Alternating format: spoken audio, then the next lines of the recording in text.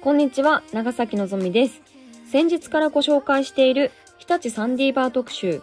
今回は第2弾ということで、日立で活躍するサウスポーの2人が得意とする変化球を教わっていきます。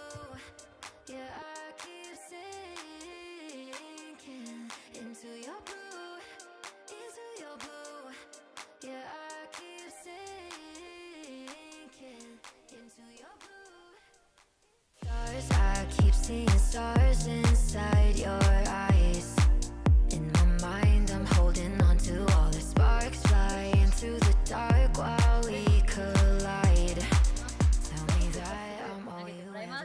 今回はピッチング講座ということで田内選手と長谷川選手に来てもらいました。田内選手はチェンジアップが得意なのでチェンジアップを教えてもらいます。長谷川選手はスライダーを教えてもらいたいと思います。ということで早速投げてもらいます。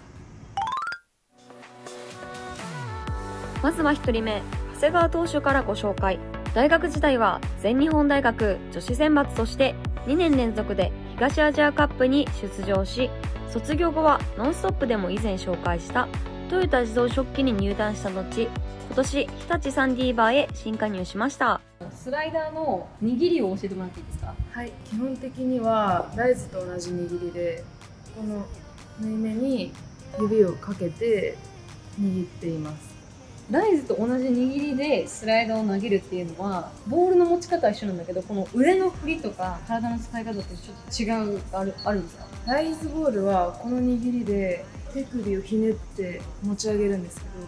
スライダーはひねらずに手首を立たせたままリリースの時に自分の体に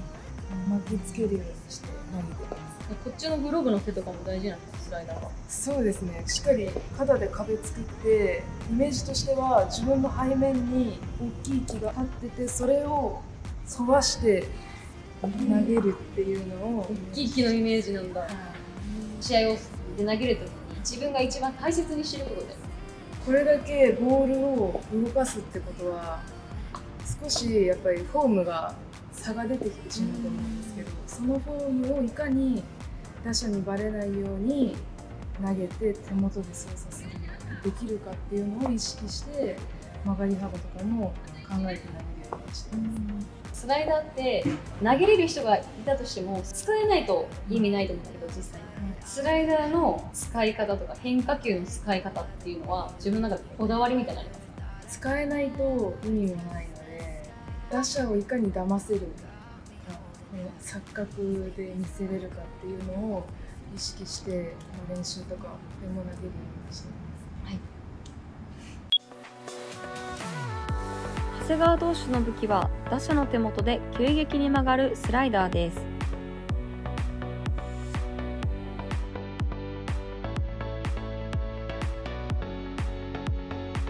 ストレートと交互に投げてもらいましたが途中で急に軌道が変わってるのが分かります。スローでもう一度。投げた瞬間は同じ軌道。ここから一気にグッと曲がっていく。左バッターは追いかけやすくなり右バッターはこういう吸収があるだけでだいぶ踏み込みにくくなると思います。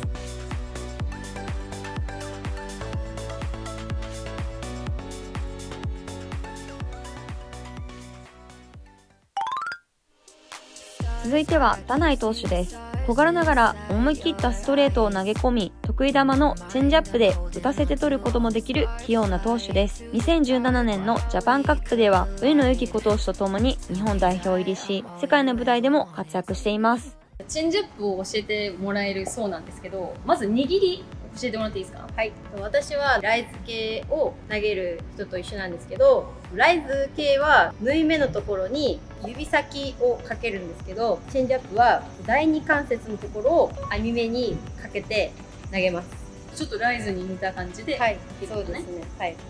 ライズよりかはしっかりあの握って投げます。腕の振りっていうのはストレートとどう違うの？あまり変わらないんですけど気持ち的にはもっとボールの重さを感じて遠心力で気持ち大きめに振って投げます。チェンジの方がやっぱり腕を振らないと抜けないので抜くためにまっすぐより少し大きめにストレートはかけて投げるんですけどチェンジアップは抜かないとスピードが落ちないので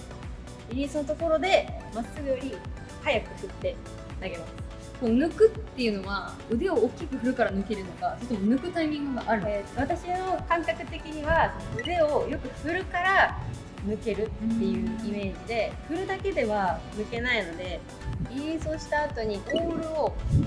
パッて離すイメージで投げるとあまり上に浮かずにリリースした高さと同じところで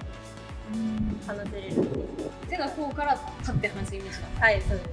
手の甲から出てこないと手首を使ってしまうのでできるだけ使わないように手の甲より小指の方から抜くイメージで試合の時にいい時も悪い時もあるんですよ感覚的に。はい。その時になんかこう心がけてる。あるここ一番ツーアウト満塁とかになると腕がちっちゃくなったりする場面が結構多くなるのでそうではなくて打ってみろっていう感じで腕をやっぱ振らないといけないなっていう内選手は小柄な方のピッチャーなんですね。160センチぐらいなので平均的なソフトボール選手のピッチャーって大体170は大体超えてるんですよね。その中で実業団入って7年目でしっかり投げれてるので腕を大きく振るとか大きく体を使うっていうのはこの彼女の中でこう結構ポイントになってるんだなって私も改めて思いました。だからそのチェンジアップもそうだしストレートとかライズも含めて大きく投げるのが自分の中のポイントなんだね。はい、そうです。田内投手とはトヨタの時に一緒にプレーをしていましたがとても芯が強く目標に向かって黙々と努力する姿が印象的です。プライベートでは一緒に食事をすることもあり私の可愛い後輩でもあります。これくらい変化球の時でもダイナミックに投げ込んでいくからこそ打者も見分けがつきにくくなりますがこれだけ思い切って投げれるところが田内投手のすごいところだと思います。